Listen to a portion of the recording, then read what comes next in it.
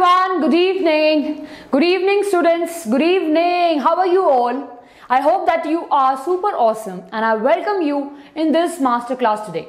My name is Ankita, everyone, and I'm your biology teacher. And I am teaching you ninth class. Specifically biology. Let me just be very specific. Pata you will be asking me physics and chemistry questions. For that we have Abhishek sir and Anubhav ma'am. So let's start our class everyone.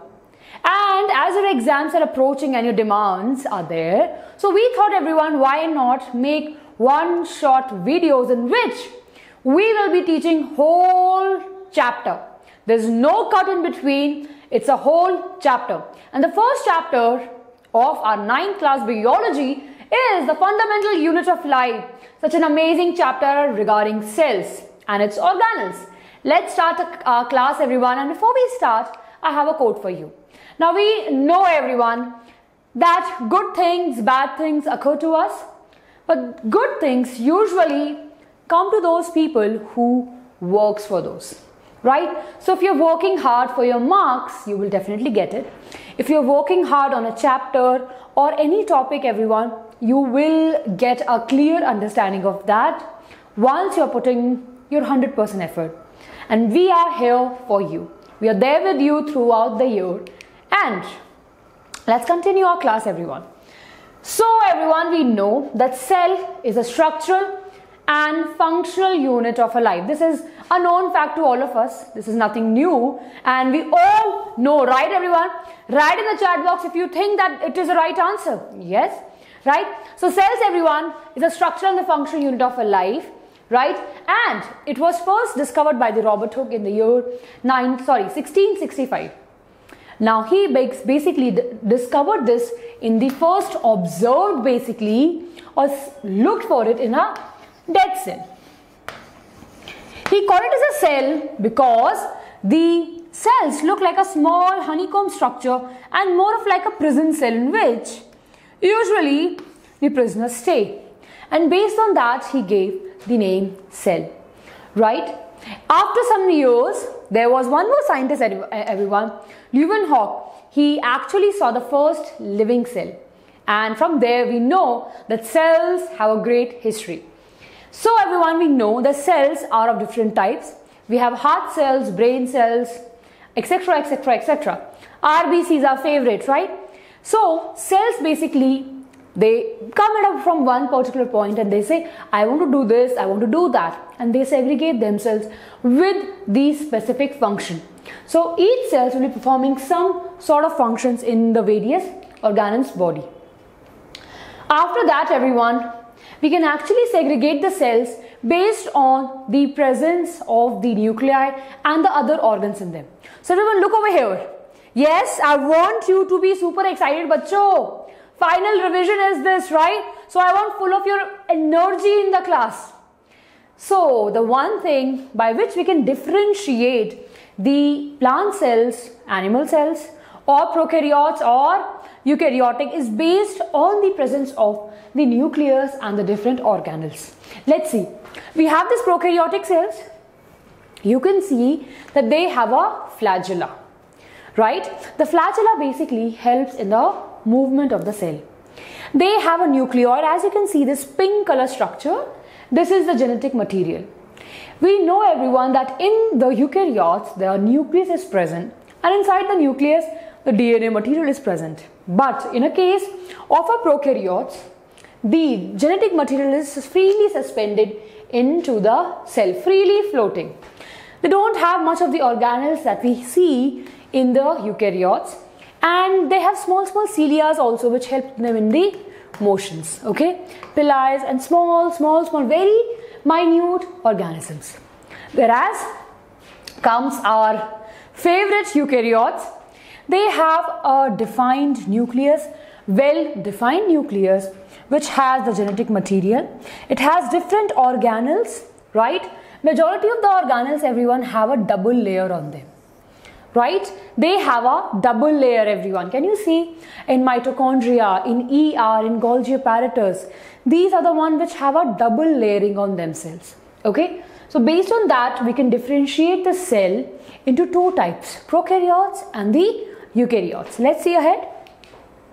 Now here we have the animal cell. Let's discuss about the animal cell and its various function everyone. So the outer wall is called as a plasma membrane. This is basically the plasma membrane. The plasma membrane everyone is selectively permeable. It will allow the entry and the exit of only few molecules. Not all the molecules can pass through them easily. Over here everyone, a very important concept that comes diffusion and osmosis. So diffusion is nothing but the transfer of the gas or the liquid right from a higher concentration to a lower concentration? Diffusion? And then we have the osmosis. Right? What happens in here? Basically the movement of water molecule from higher concentration to lower concentration. Higher concentration to the lower concentration through a semi-permeable membrane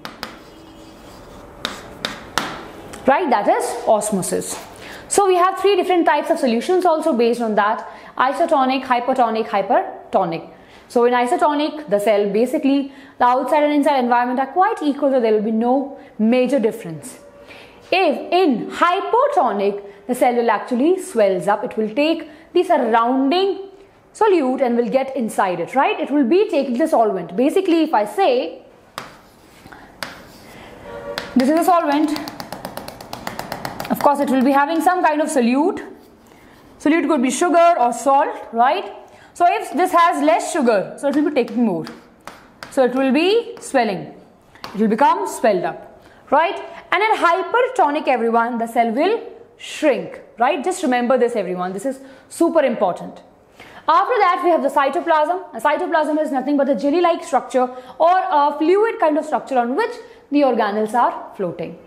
Here comes the brain of the cell everyone and that is our nucleus. Our nucleus basically have a double membrane. It has nuclear pores on it, right? It has nuclear pores and these pores basically help in the transfer of molecule in and out.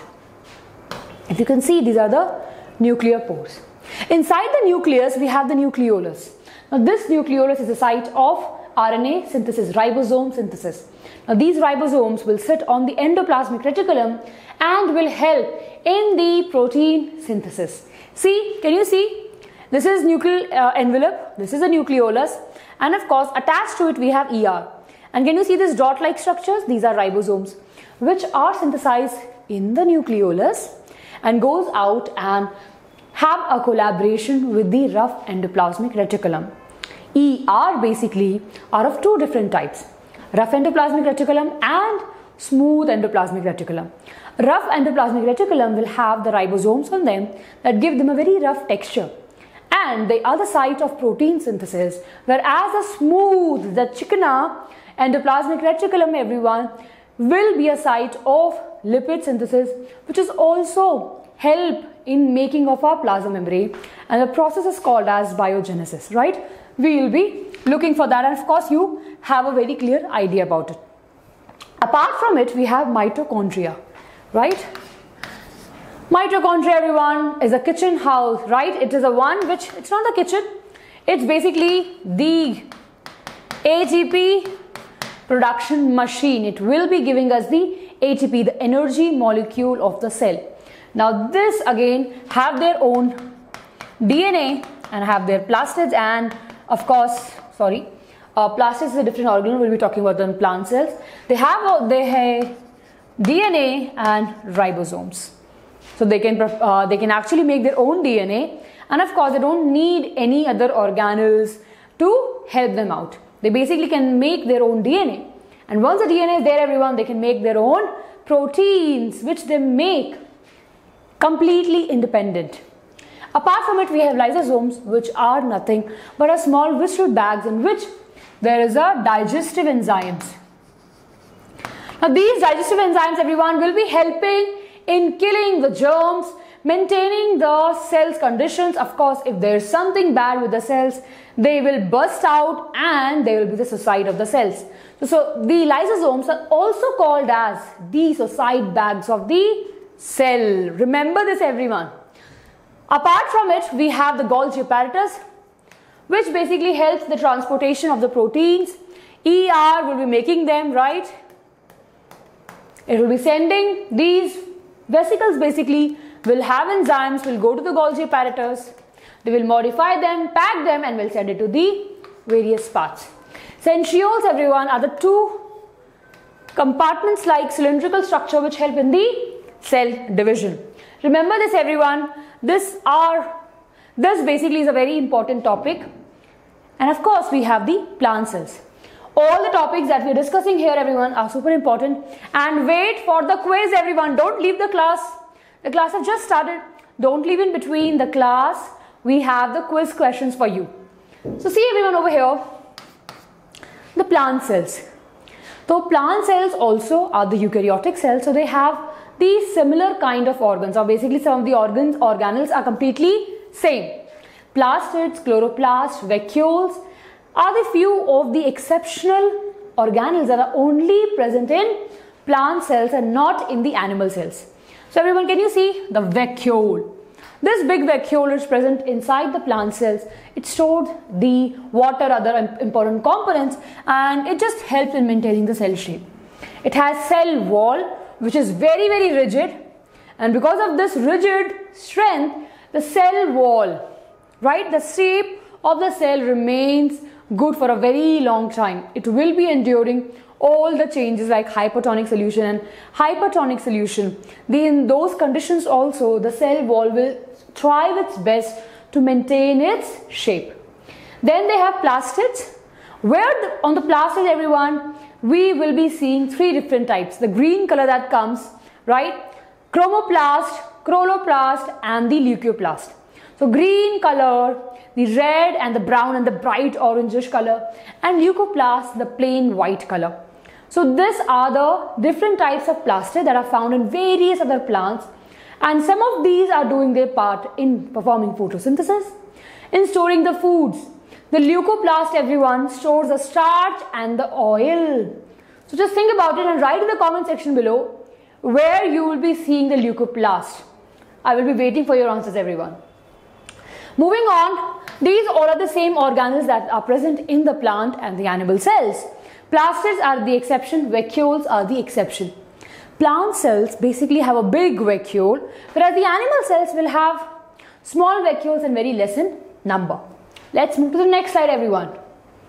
And here we have a basic difference between a very common question everyone asks in your examination. Write the difference between a cell membrane and a cell wall. So here you have. Take a screenshot everyone. All of you take a screenshot. I'm moving aside.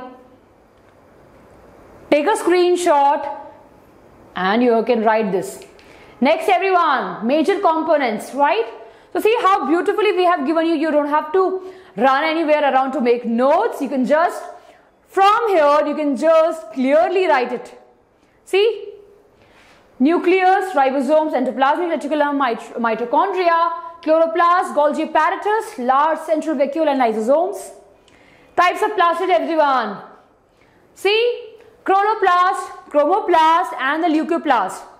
Can you see photosynthesis? Chloroplast. Chromoplast contain the carotenoids carotenoids, xanthophylls, usually seen in the fruits and the beautiful flowers. Leucoplast, no pigment, help in the storage of starch. See, and here is a very big difference between a plant cell and an animal cell, everyone. See, over here, these are the common organelles which are present in both plants also and animals also.